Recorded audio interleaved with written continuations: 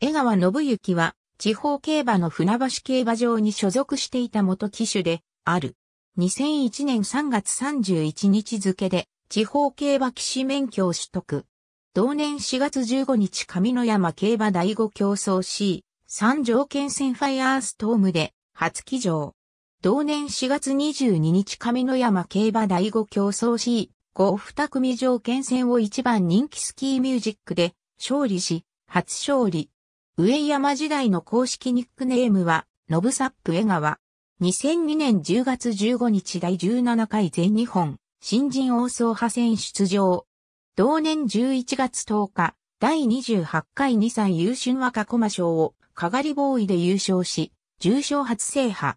2003年地方競馬通算100勝達成。同年11月11日上野山競馬廃止。廃止までの通算成績は1199戦127勝。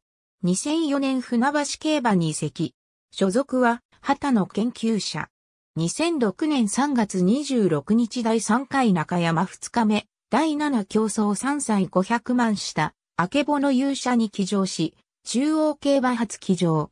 2008年11月1日付で、旗の研究者から川島正幸厩舎へ、所属変更。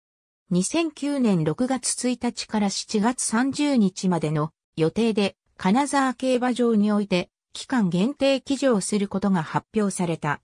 金沢での所属は佐藤茂厩舎。同年7月26日金沢競馬第1競争 C44 組条件戦を鈴プロフェッサーで勝利し、地方競馬通算200勝達成。2014年9月7日までは川島正幸厩舎に所属していたが、同調教師の逝去に伴い、暫定的に川島昭一厩舎に所属変更となった。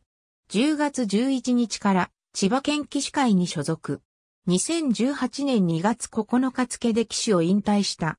引退後は地方競馬全国協会の職員となる。